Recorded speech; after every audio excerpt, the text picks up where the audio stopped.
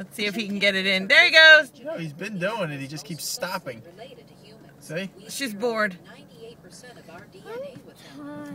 That's what she just said to him. She's like, geez, get off and get off already.